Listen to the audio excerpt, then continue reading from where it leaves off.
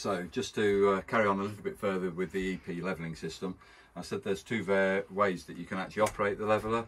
You can operate it either off the remote control, which is this device here, has exactly the same functions as what we do on the control panel that's just just inside the door on the bed frame.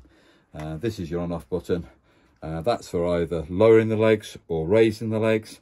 If you press that button, you're manually going to adjust the legs yourself. Uh, and that's the reason why then you got four different directions there. Uh, but that's just quickly on the on the EP leveling system. Uh, very simple system. Personally, just leave it on automatic. Does it by itself. Once they're down, it turns itself off after 30 seconds. Uh, so that's the EP. Uh, I'm now going to come on to uh, working the rest of the, this particular caravan that we're in at the moment, which is a Coachman Laser 850 2020 model, 2020 model, and uh, it's the X, XL version, which is the wider version. It's an eight foot wide vehicle. So that's the only things you need to know about what I'm demonstrating at the moment. We haven't actually set this system live, so uh, as I'm demonstrating the vehicle today, there are things that you'll you'll be seeing just as I am setting it up as you would on site. First area I'm going to come to on this particular time is straight to the control panel on 12 volts. This is the on off button. Uh, I've made it come live and as you can see it said master on. I've then got various bits here for distribution of 12 volts within my caravan. This is for internal lights and hey presto lights are already on which is quite nice but there are many lights within this caravan and I will demonstrate where the switches are for those as we go through and then this is the awning light on the outside of the caravan uh, and it says on the window there awning light on and it is and you might see a change of color there on the door frame as the awning light comes on and off yeah yeah okay so you can see the awning light is uh, functioning that's one way to operate it. There are another way that it can be done, which is on the key fobs. Uh, I'm just remembering which one it is, so forgive me for remembering. There we go. So you hear that little beep there and the awning light on. Da, da, da, right, okay, I did that wrong. I'm going to do it it's the i believe the bottom right hand segment of this round circle. It's got a little bit of knurling on it. I think it's that that does the awning light. There we go. Yes. That's the awning light operation on the key fobs. Forgive me for not remembering. It's been a few weeks 10 weeks at least since i've actually demonstrated one of these so i've forgotten what it was. Right. The other two buttons at the top is for arm and disarm. So there's it's like a lock mechanism one's closed and one's open uh, so this is to arm the alarm and that is to disarm the alarm. So when I arm it, two beeps. It gives off two audible beeps when it's armed. And it also puts the awning light on for 30 seconds. You might see the awning light still on. All right, so that's what it will do.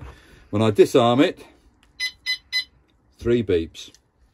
All right, so two beeps for arm, three beats for disarm, and the bottom left-hand window down here, which has got a clear section section on it, is if you're going to arm the alarm but deactivate the PIR, the passive infrared detector. So if you had an animal inside the caravan, you could actually uh, emit the PIR side of it, and that will then give you just the one beep, I think. There's the one beep. Mm -hmm. I've now armed it, but I've actually deactivated any recognition of movement within inside the caravan. So if you do leave an animal in here, something like that, uh, then uh, it won't activate falsely on the alarm. To deactivate that, again, is just the top right-hand corner. One, two, three beeps. There it is all off. That is the alarm system demonstrated. Okay, so I'm going to come through to some of the appliances. And uh, as I say, you're going to have to forgive me because none of this is actually set up. We have put the services on, i.e. we've got the gas supply on. We have got the water connected, but not, for, not through the system. We have got gas on, but I haven't blown got all the air out the system yet and we have got mains electrics on. So I am going to come to those items. Let's do the main side of it first. We're coming down to the con uh, consumer unit which is located on the offside front bed box. Okay so it, the panel's split into two. This is all 12 volts. Those are all 12 volt fuses. And on this front edge it tells you what those fuses are representing and what they actually uh, serve and immediately above you can also see in the same shot that we have got numbers up there which are the numbers corresponding to the fuse. So if it's a 5 here, it's a 5 amp fuse. If it's a 10 up there, it's a 10 amp fuse, etc, etc. These are 20s and we've got 115 available. So most of it is 5, 10, 15, 20, with the exception of this one, which is a 7.5 amp fuse. It's for igniters. It's quite an unusual size, but uh, they're just standard car blade fuse uh, fuses. Uh, you can get them at Halfords or at any good caravan accessory shop, Broad Lane being one. That's 12 volts. Above it is a series of MCBs. That's three of them. That's those three there. And then the right hand one, which has got an addition of this little blue switch here, uh, that is called an RCD, as indicated down there. They're RCDs, these are MCBs. RCD, residual circuit device. It means that if somebody was using mains electrics and it was live and something happens to that supply, it should automatically trip out, which is what it's just done now. I've just tripped the main supply out. You should do this initially when you first couple up to mains electrics on site. You should actually test to make sure that you are going to be safe. And the way they test it is say, press the blue button in, it trips out. If it does that, you've got supply and you are safe. Turn it back on again. The MCBs, they're like fuses, but these just trip out, take off the offending appliance which has caused it to fuse and reset the trip and away you go. You should be up and running again hopefully that explains what MCBs and RCD does. All right, so that's earth leakage, they're fuses. And that's your consumer unit that you have on Coachman's. Uh, you may hear a little bit of background hum at the moment, which is uh, being generated by the charger, which is located behind this panel here. It's not something that we ask end users to get involved with, but the battery charger working from Mains Electrics is located there. Uh, it's just so you know where it is should you be asked to ever look at it. That's what's behind that panel there. Okay, so uh, while I'm in this bed area here, uh, there are a couple of things that I do want to point out, but it is quite complicated underneath here and quite comprehensive with all the different bits of equipment.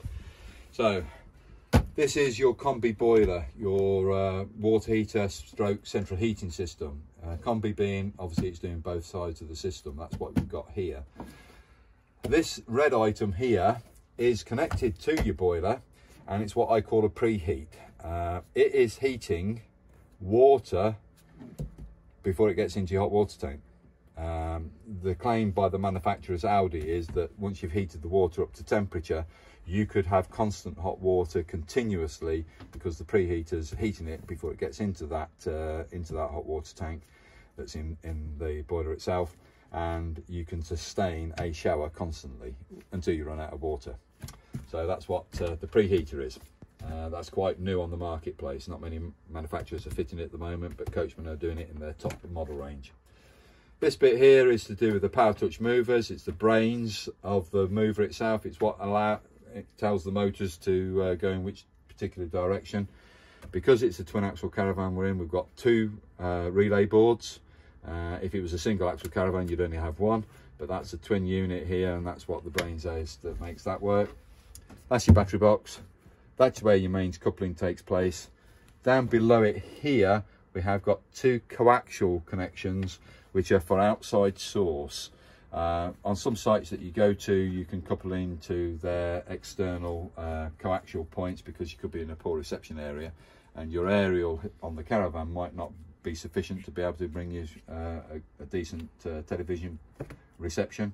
So you can couple up sometimes onto site uh, coaxials, and one of these is a coax, and the other one is for satellite connection. If you are on a, uh, you got your own dish and, and digibox, and you want to have digital reception, then that's where you do your uh, your outside connections for that. Then, so the only thing I want to briefly point out now in this bed area is a bank of fuses here you don't need to know too much about those, uh, but I just want to point them out there. Behind this clear perspex window here, there's four fuses there, and there's a bank of fuses just down the front bed box there. I'm mainly pointing them out so you know where they are. Uh, they don't. I'm not going to go into them as to what they all do because I could be here uh, probably three hours and you'd probably fallen asleep.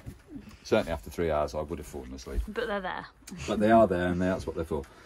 This is to do with the emergency release of the EP leveling system. Should it ever fail, we can actually press this uh, button here um, for, for, it to uh, to deactivate itself.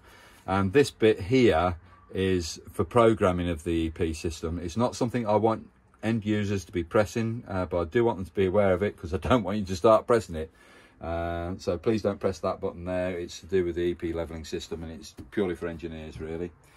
So the only point now I need to show you on a boiler system here, Coachmen always have two drain down, down taps. They have one on the hot system which is that yellow valve down there on the floor. And we also got one which is very a bit more difficult to see. It's uh, down here, just where my finger is here. You can't really see it yet. Yeah. Okay.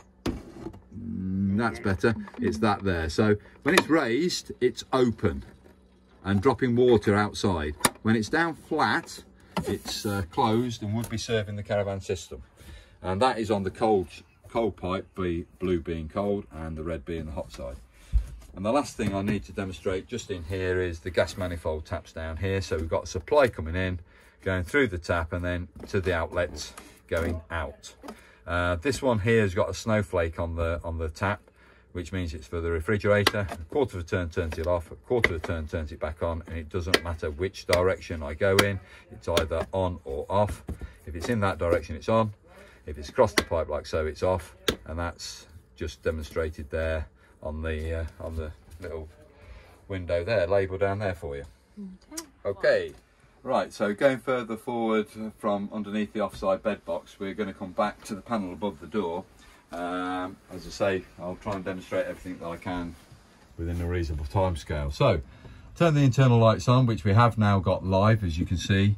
Uh, and around the caravan, you're going to find various light switches located.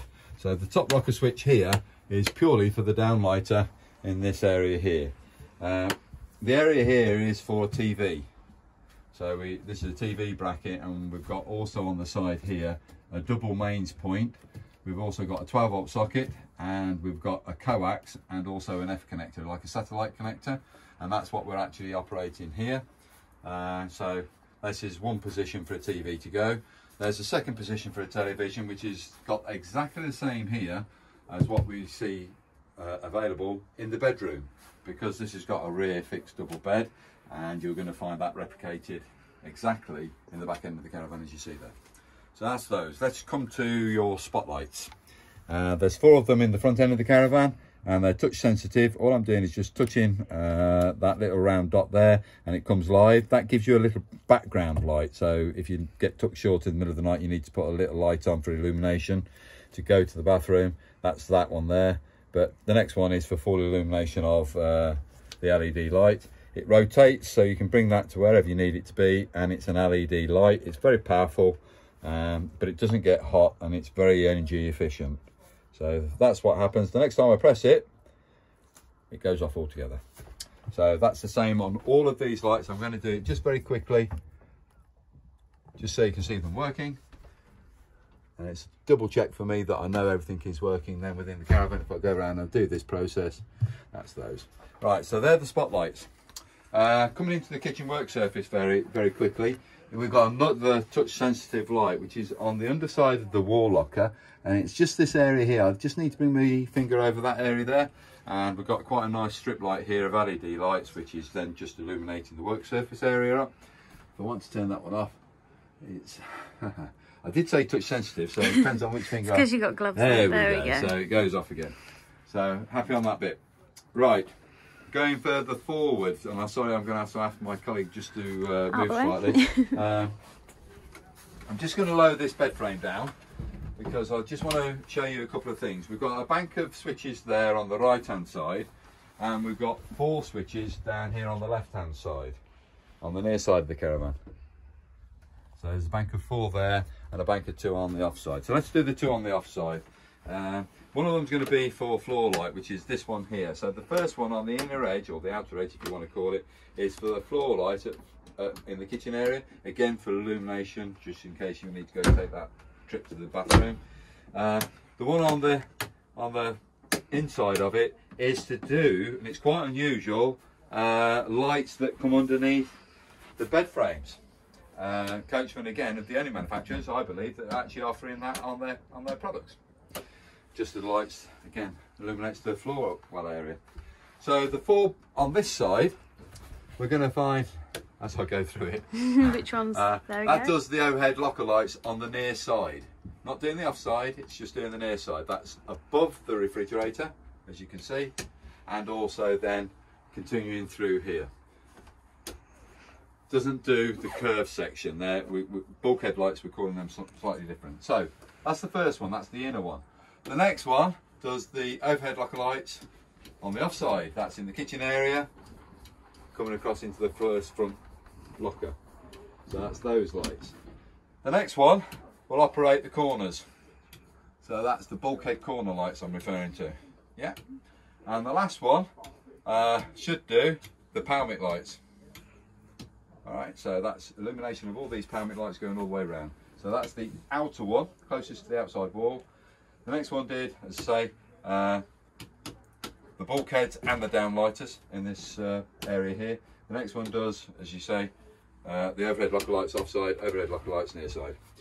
That's all your lighting in the front end of the caravan. Uh, we do go further back and I will demonstrate where some of the other uh, light switches are as we go uh, into the back end of the vehicle. But while I'm in this area, I'll try and just do everything I can in this area first, in the lounge area. Let's do the fly screens and blinds. The window mechanism is quite straightforward. I can't turn that lever latch. I've got to press the button in in the middle to be able to rotate it. If I don't press the button in, it won't rotate. It's only on the bottom latches. Don't have to worry about uh, the window stays themselves. So, to get some ventilation, but in a fairly secure position, is that. Uh, that's the first location. The next location after that is obviously to have the window ajar and to just tighten up the thumb screws at the top just to locate the lock the window stays out which is that one there now. And uh, obviously when I want to release it or have it in a different location just slacken those off slightly. You could have it fully open if you want or in a different in a different position. And that's as straightforward as the window needs to be.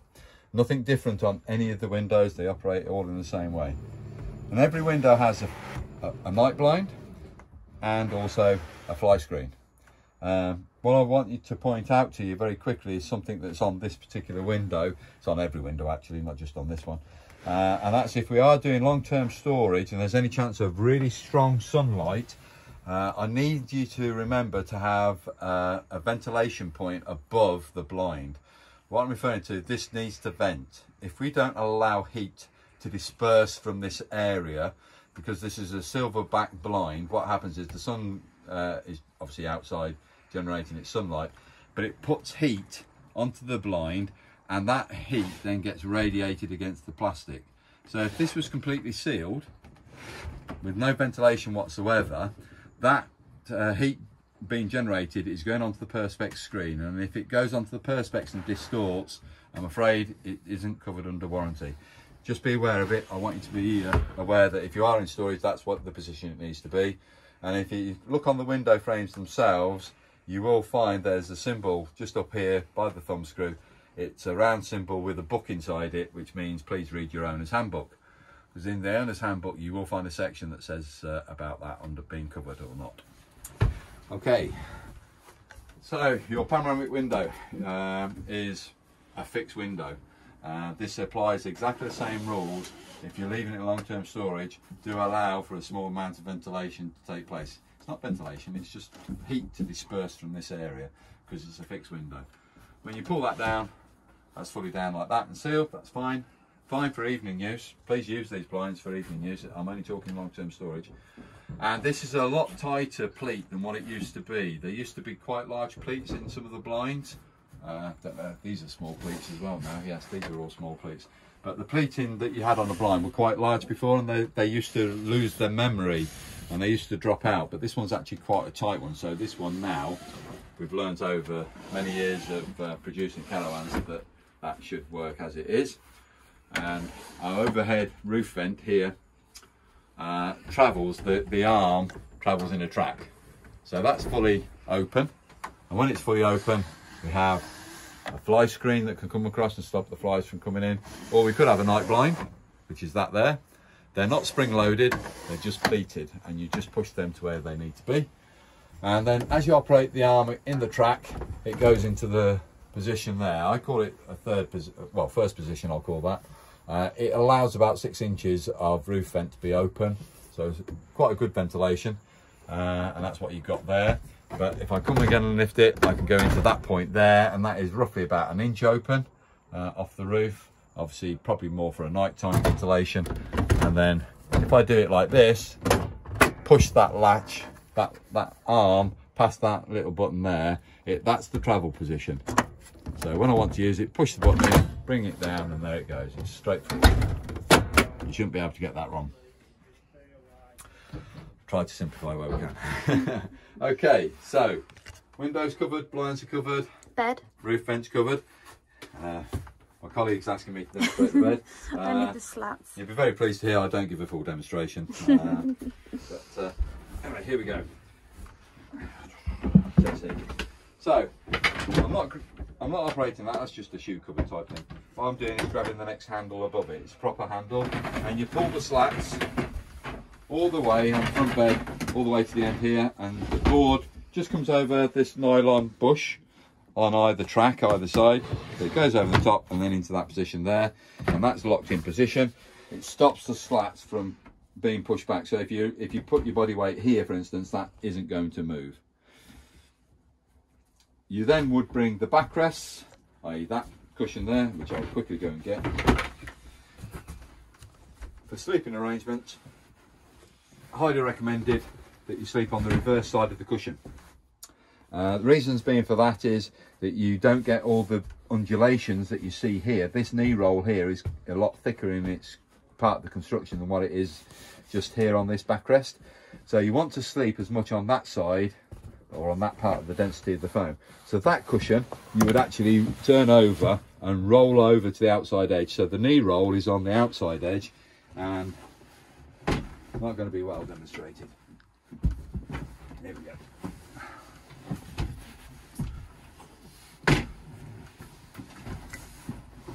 That's it. So you're doing something similar to that. You're now sleeping on the reverse side of the cushions and you are getting a flatter surface. It's a lot more comfortable uh, on, on a bed situation when you're using it as a double bed. So that's how the, the front bed would be. On this particular model, we have got a fixed bed at the back end, so you'll be very pleased to hear I haven't got to demonstrate that one. but you can obviously see that when I take the cushions off, this uh, strut and bed frame lifts up all the time. It needs the cushion on it to keep it in a downward position. If that wasn't there, it would always spring back up. That's your slats back. That's your backrest back. Your armrest into the corner. And your cushions from the grass. Scatter cushions, right. So, happy on that bit. You do have an occasional table which just pulls her forward and then drops back like so against the bulkhead. It does have a slight step in it. I'm afraid uh, we're not able to get it that that surface and this surface can actually marry up as one. Uh, I do apologise but that is the way it has to be because this mechanism that I'm trying to do now which is pull it forward to retract it back.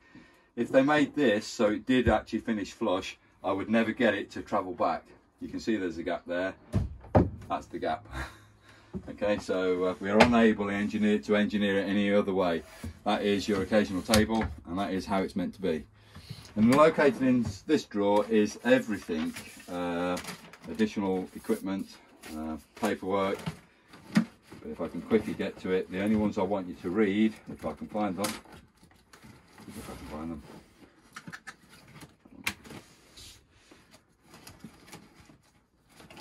and that's if they're in here. They're not in here. Right, what I was looking for is the owner's handbook.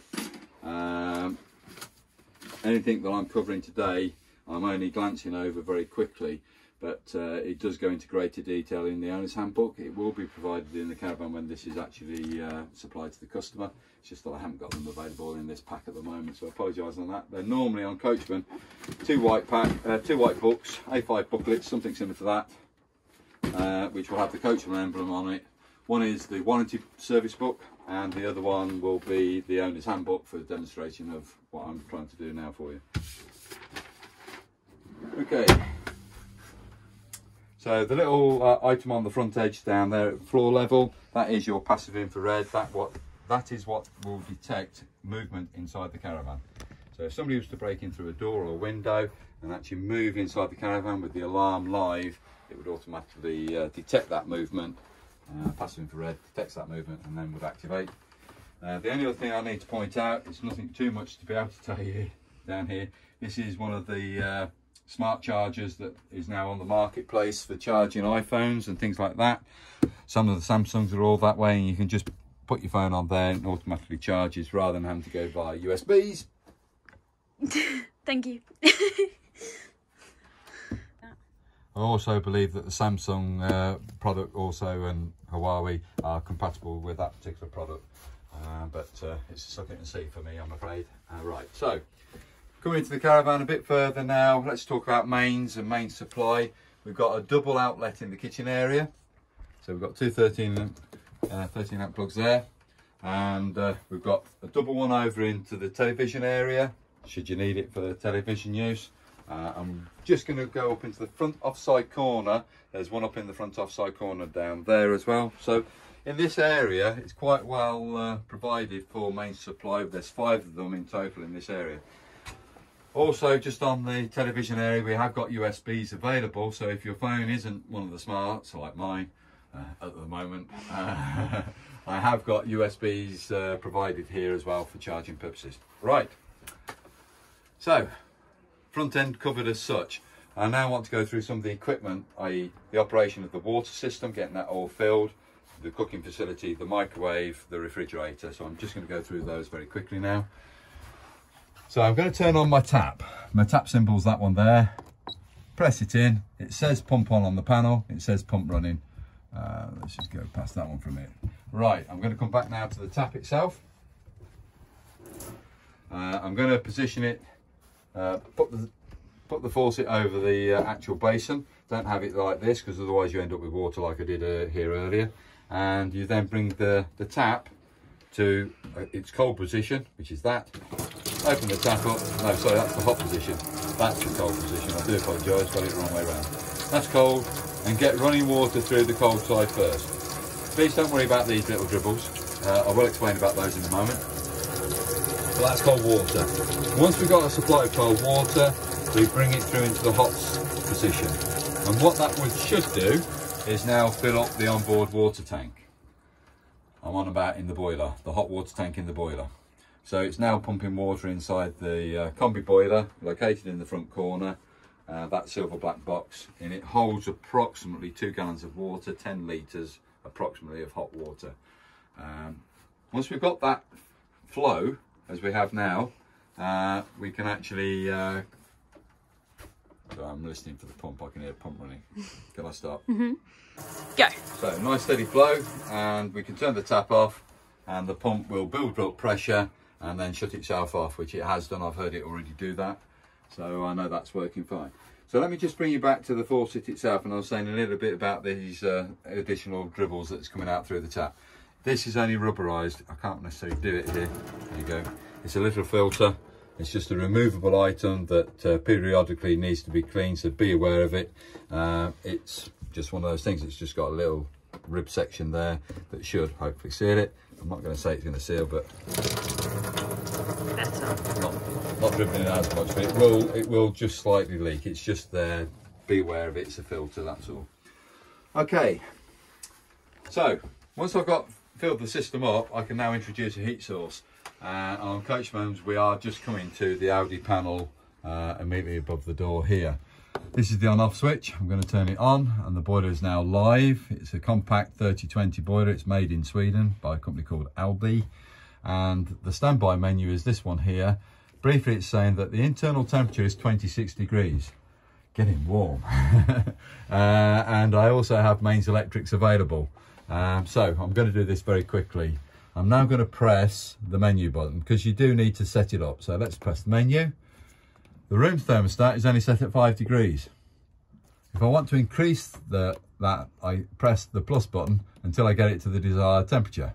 I can keep my finger on it and it will go all the way up to where it is. Remember, it was 26 degrees internally. So let's just stick it on 30 for now. Fantastic. Great. My colleague's going to love that. uh, so that's on 30 degrees. If I want to lower that temperature down, I can use the minus button. Uh, says here, come on, it has to be touch sensitive. There we go, and it's going down. I'm going to have selected 27 just for her. Thank you. Um, and that's all that we need to worry about room temperature. So if you do want to increase the room temperature, because it's feeling a little bit chilly or whatever, by all means operate it here. The maximum setting you can have is 30 degrees. The minimum setting is 5 degrees. Uh, when it's not in use in the summer, i.e. the central heating, then you have it lowered down on the 5 degree setting. Right, so the next symbol down, it has a shower head and gets a bit confusing. What I want you to take notice of is the triangle. At the moment, that triangle is half dark and half clear. If I press the minus button, it's completely clear. If I press the plus button, it's now completely blacked out. All right, so what's it mean? When it's half and half, we're asking all of the boiler operation to function. I am referring to uh, hot water and central heating. If it's completely clear, I am just doing central heating. I'm going to explain I know that. Uh, and if it's completely dark, i.e. like that, it is just doing the water system. How do I know that?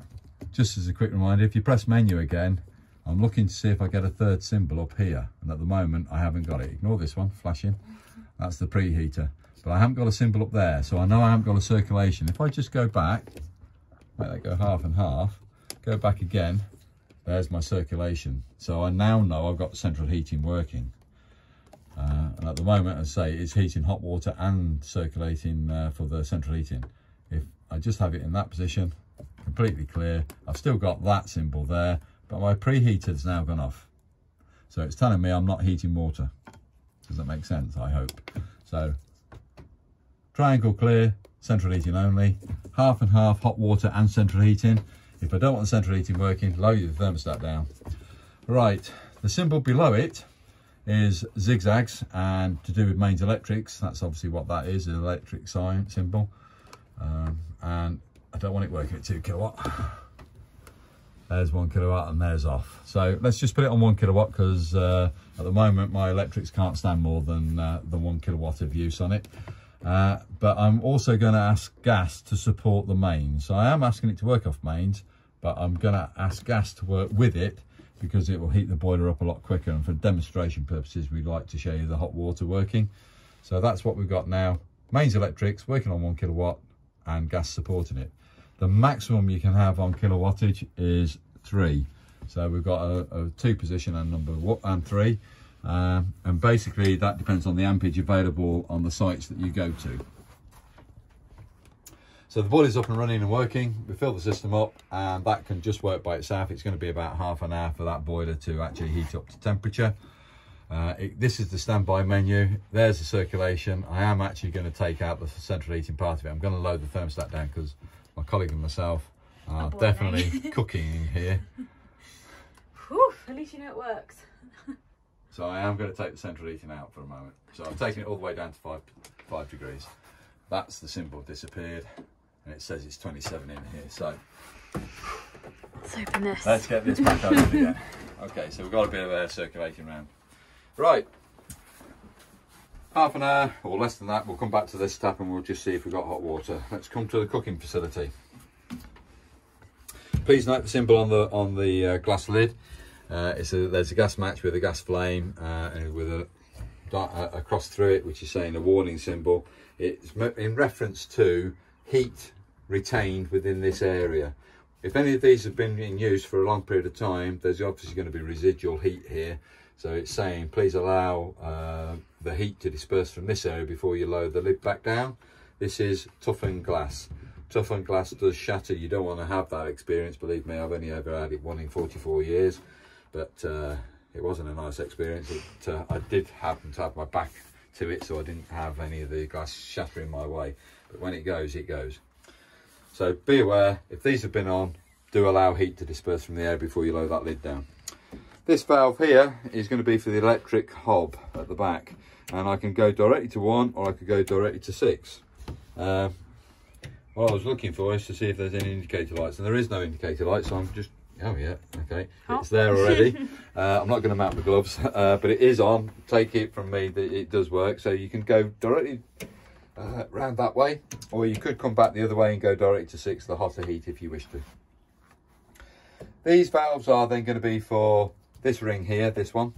This one's going to be for the grill. This one's going to be for the oven. This one's going to be for the small front gas ring. And that one's going to be for the one at the rear. So you've got two medium-sized rings, one small ring, and then an electric ring. I'm only going to operate one because if I can get gas through here operating, you can see it's obviously working. And that's high and that's low. Low's gone off. Let's put it on high again. Keep it depressed for a few seconds. Ah, giving me trouble. So I accept the challenge. Let's see where we're going. That's on. And there's the low simmer. Hopefully that's uh, showing up on the camera all right. And there's high again and off. You just need to leave the valves pressed in for a few seconds. So since this one did give me trouble, I will do these two just to make sure they're both ignited, they're both on high. I've released the valves after a few seconds and they're both on low.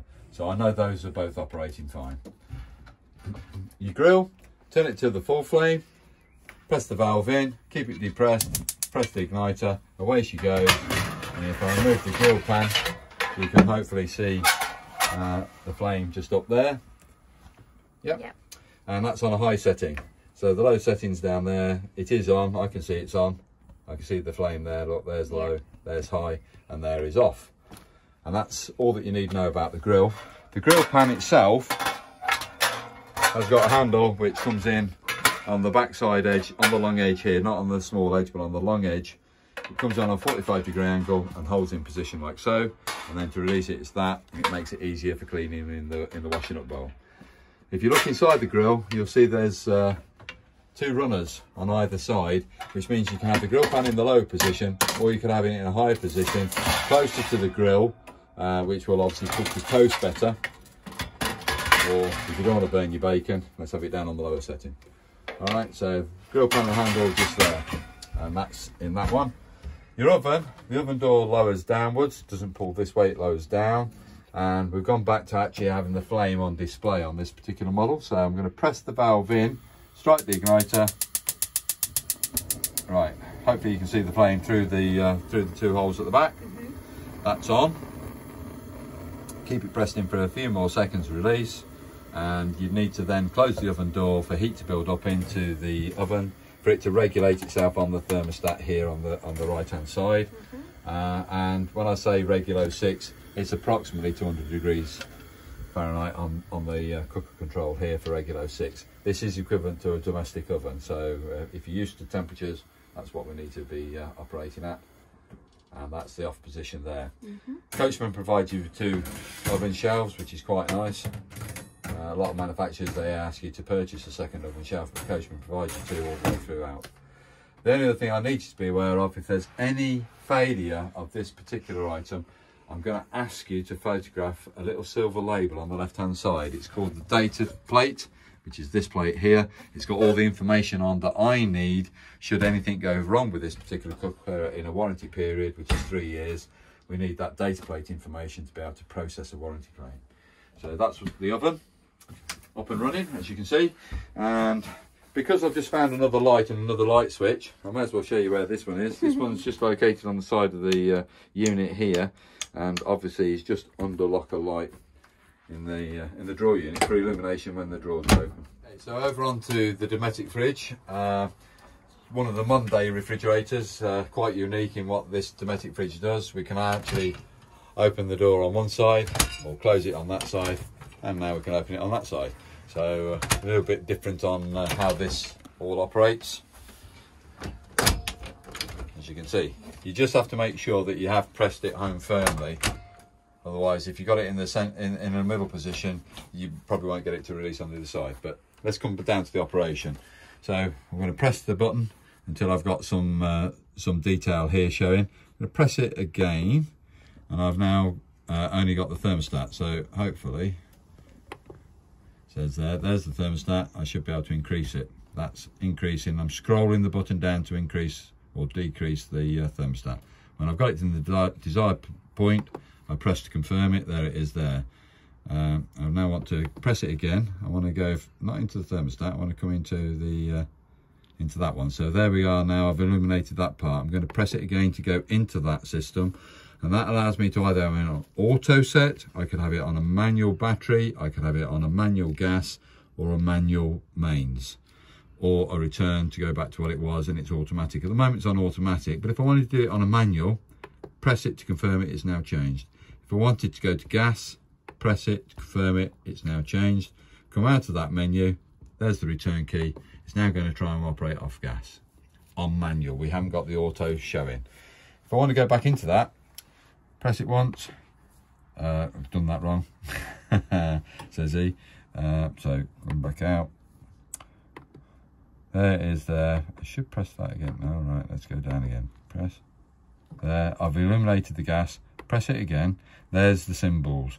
If I leave it on automatic, there, and confirm it, this refrigerator will automatically try to work off mains electrics first. It prefers to work off mains if it's available, and if it is, it will work off mains first. Then it will go to gas, and if that's not available, it says you're going to work off 12 volt battery, which is the position it should be for transit.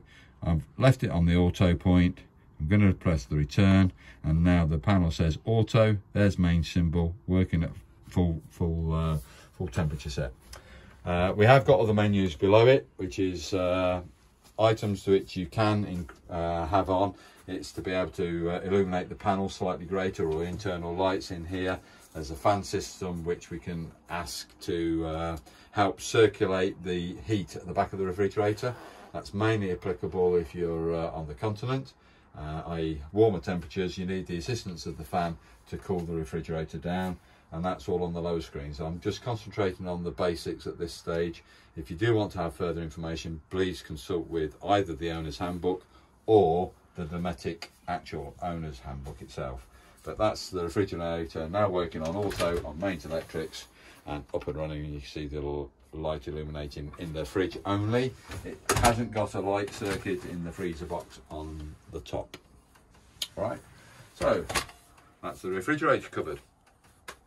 The microwave, uh, quite a nice one. It's made by Russell Hobbs. Got like a mirrored front, so obviously you, have, you might see my reflection, ugly as it may be.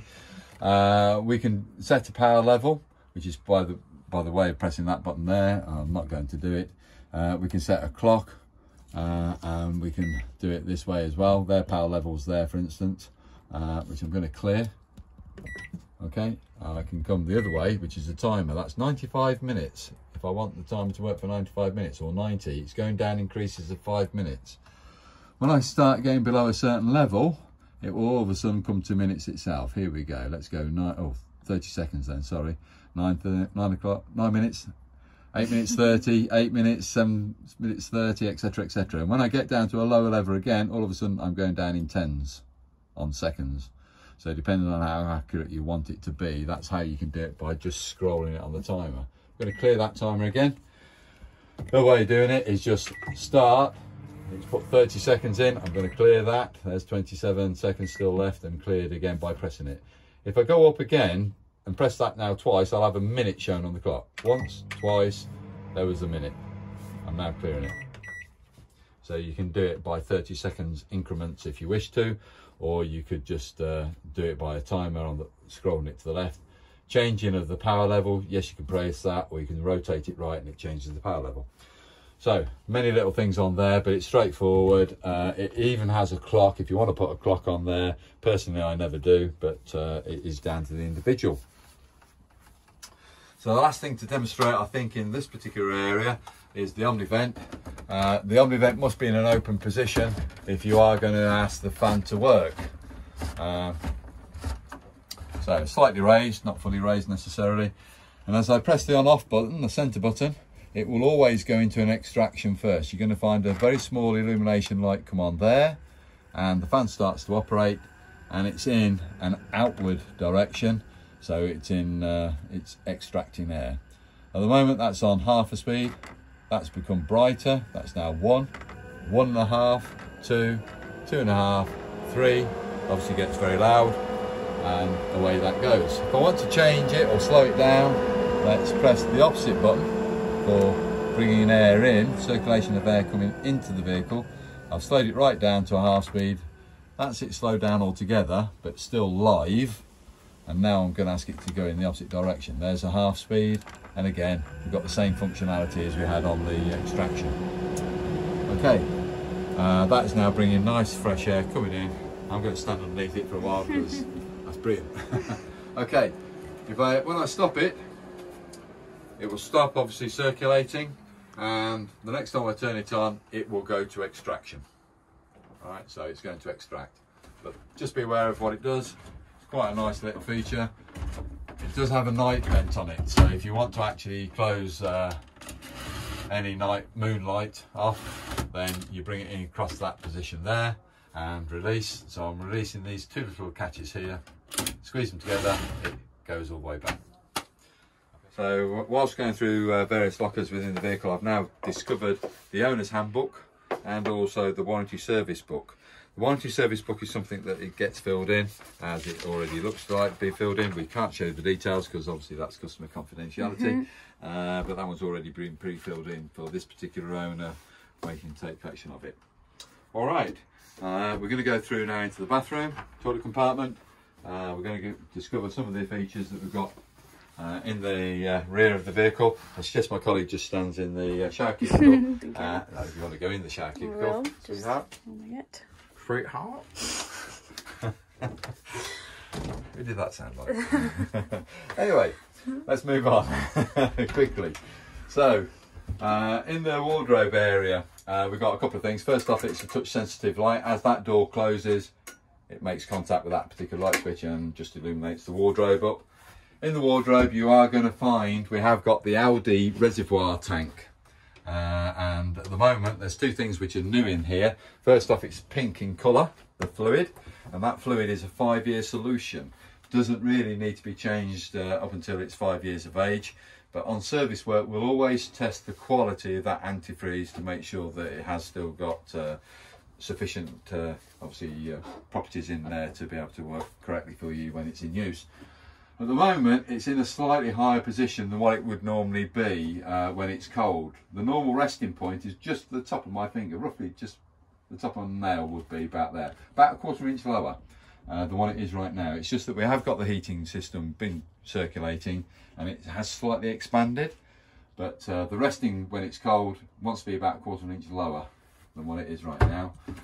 It's got a little turnbuckle, no not turnbuckle, it's got a cap that you remove on the top and allows you to pour antifreeze into the into the reservoir tank.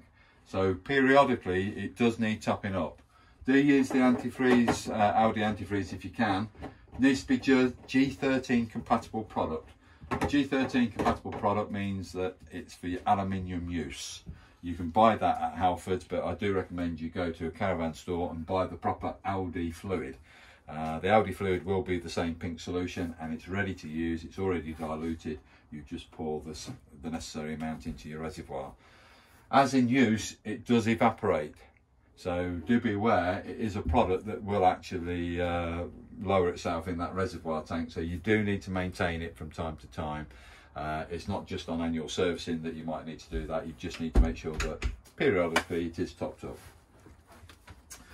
So to show you the Thetford toilet, uh, this is a straightforward toilet. It's a swivel bowl mechanism so you can rotate that to give you a little bit more knee room away from the vanity basin if necessary. Uh, you'll be very pleased to hear I'm not going to give you a full demonstration of it. Uh, but what we have got is two tanks. So the top tank, which is from the, the bowl and up, is for flushing purposes. That contains fresh water that you can put a pink additive into uh, it helps keeps the bowl clean and keeps the, the water that's circulating around there smelling nice. The bottom tank is all down below the bowl and is accessible from the outside of the caravan. It's a cassette that you remove uh, and take to a waste disposal point for emptying. Uh, the time when you know it's ready for to be emptied is that there is a red warning light that appears in that little uh, box area there. It's uh, trying to depict that that's the cassette and obviously uh, that's where if it illuminates you need to go and empty it.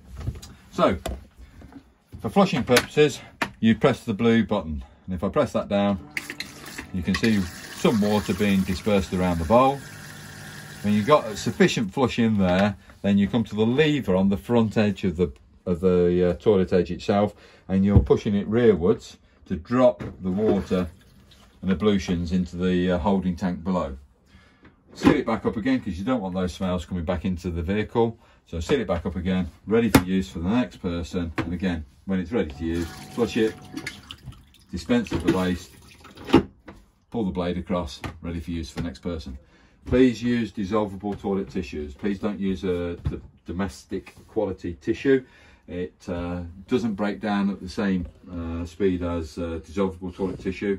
And uh, if it blocks the mechanisms on the bottom holding tank, uh, it uh, it needs an engineer probably to remove it because you don't want to put your hands down the trap as we don't want to do it either. Uh, but it's a job that we will do but you'll be charged for it. So uh, just be aware that uh, you know don't use domestic quality tissue. I like andrex i love andrex to pieces. However It's not a pleasant job. it's not, it's not a job that i would recommend everybody to do and the engineers normally complain and ask me to do it. So i'm not doing it either.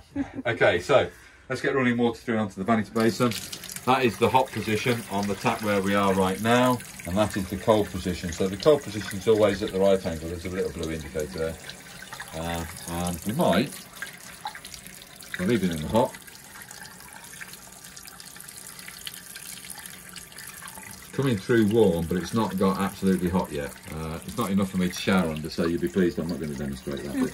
but it is warm. I know it is. Oh, It's getting, getting there. It's getting warmer. Yeah. Yeah. warm. Okay. So just to show that it is getting warm. Okay. Should we go in here? The pump is still running, but it's building pressure up. So what we have got here is a pressurised water system uh, on our system. Uh, this vehicle also has an onboard water tank should we wish to use it, and I will explain how we fill that in a moment. But let's come to the shower. Okay. Uh, the shower system is uh, straightforward. A couple of little features in here.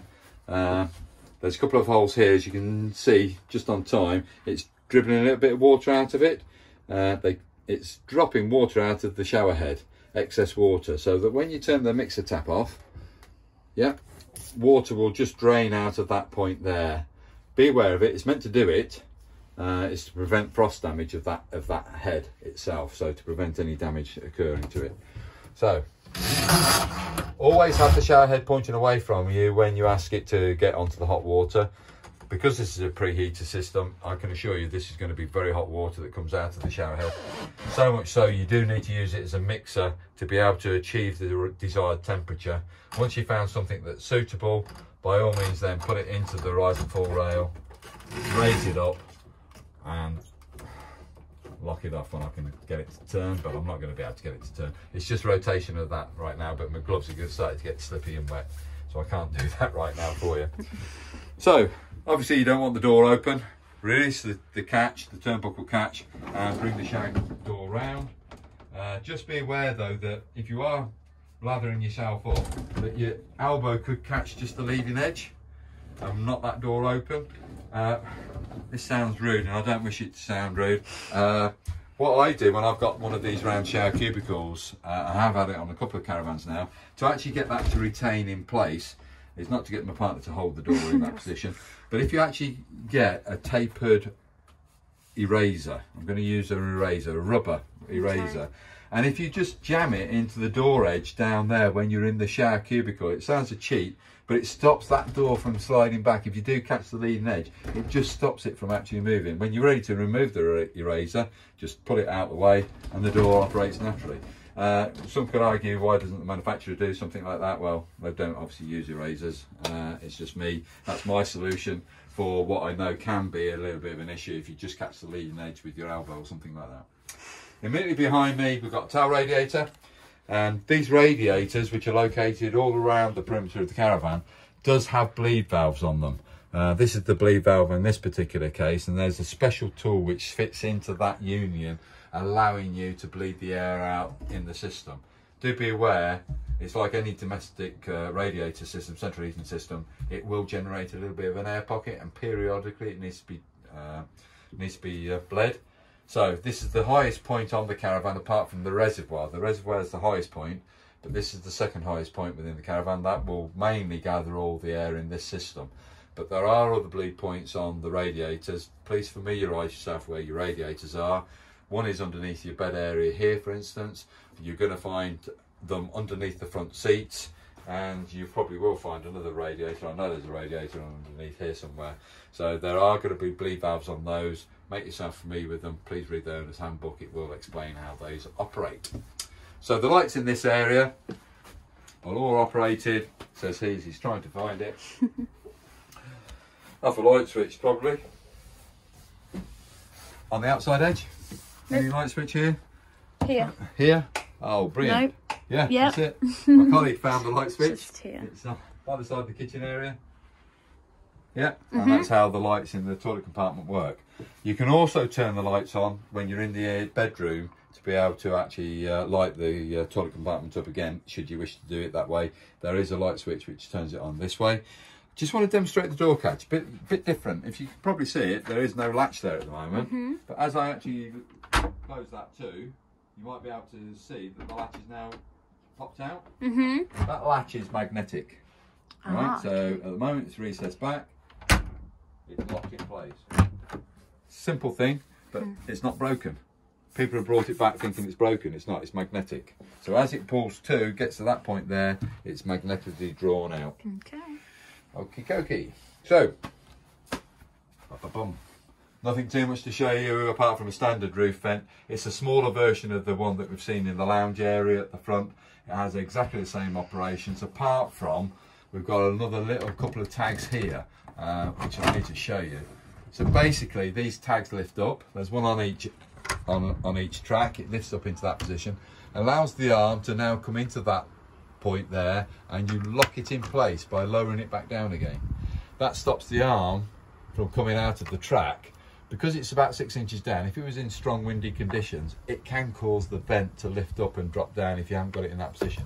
So if it's there, wind could catch it and drop it back down again. Okay. So the idea is lift the latch up, lift the latch up on the other on the other track, put it into that position, and then drop it back down, drop it back down. That is locked. It can't lift out.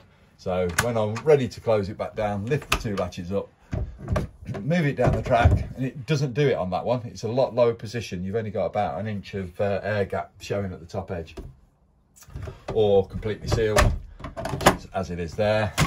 And again, fly screen and night blind. They're not sprung loaded. They're just pleated uh, items. Okay, so One. okay, so welcome to the bedroom area. Uh, first off, we do have a travel catch that's on the uh, sliding door. So for transit purposes, that latch needs to be across like so. Uh, obviously, for day use, it is just a case of sliding the door across, and it's a magnet which holds it in place. So the magnet here comes against the latch over on this side and just retains the door in a closed position. Uh, on this one, there is nothing else to retain it back. It is just that turnbuckle catch. So there is nothing else that holds that sliding door back apart from that. So coming around into the lightings that we have in here, uh, there's various bits and pieces. So background light, full light, turn it to where we want and off. Same applies onto the one on the other side. Exactly the same. Okay, but I am going to point out, and I don't know if you can actually highlight this, you're going to find some USBs. Yep. So there's a USB available on that spotlight, and there's a USB available on that spotlight. So that's another feature that Coachman put on their vehicles. Handy. Uh, the overhead lights that you see now illuminated are operated off wall switches just on this side. But I'm going to come to the middle switch first because that operates the bathroom, the toilet compartment. All right, so that's, uh, as I say, there is a position in here as you're going through that you can turn on the lights within the toilet compartment. So the ones on the top edge are going to do all the lights apart from Palmic lights here behind the vanity mirror. Uh, and we've got an illumination behind here. This is the second position for a TV. We have got a mains point over here. We have got a 12 volt cigarette socket and we've also got a coaxial point. We've also got a TV bracket mounting plate. So this is a second position for a TV or two separate TVs. Um, obviously, if this is a fixed bed, you probably do want to watch TV first thing in the morning, last thing at night. Uh, so that bottom switch there is for panel illumination behind here. This switch here is going to be for panel illumination behind that mirror. Uh, and that's the lighting circuit. There is one more, uh, which is the one at the bottom of the bed. Now at the bottom of the bed, I'm hoping the switches are still in the same place.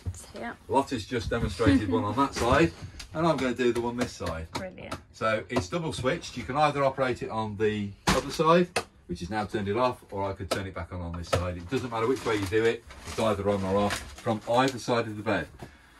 Uh, when you are making a double bed, you just slide that bed fully out the frame. You bring the mattress down.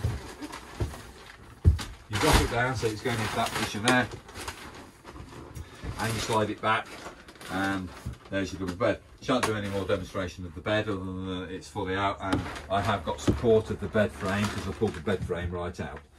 When I want to retract it, just bring your mattress into that position there, push the frame right back, not very well demonstrated because I've just pulled the mattress, push the frame right back, which I've done now. The plastics unfortunately is holding the mattress in, it'd be a lot easier without that plastic on it. So, underneath the bed, I can gain access underneath the bed. Uh, and at the moment I can't fully lift it because the mattress is also holding it in place. So, what I want to just move in here and just show you. There's a couple of things on the water. I don't. Hopefully you can see there's two items right at the top edge. Uh, you've got a, a white valve and then a silver valve. The white valve has got a little daisy wheel on the top and allows you to adjust the pressure as the battery starts to deplete with energy. Uh, if you haven't got a main supply, you can actually, that's it, lovely. On the top right hand side uh, is a little daisy wheel, you can adjust that. If you screw it out, it needs less pressure to turn it off. If you screw it in, it requires greater pressure to turn the switch off. The other one is a solenoid valve and it's feeding, as you can see, this blue section here, that is an underfloor tank, a freshwater tank underneath the, the underneath the bed area. Uh, Coachman always su- supply them there. And for drainage points, I personally don't like onboard tanks. It's just a personal thing. Uh, I find them very difficult to fill and very difficult to empty. But to empty on this one is just a case of pull that plug. Uh, and any water that was in that tank is now shooting out underneath the floor of the caravan on the underside of the caravan. It's not actually damaging anything internally. When I want to seal it off again, just push that plug all the way down. Find the right location hole. That's a bit difficult to find. Bear with me a second.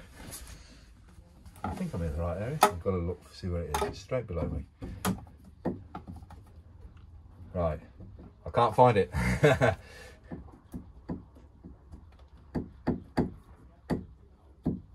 well, believe me, it does go in. Uh, I just can't. There it is.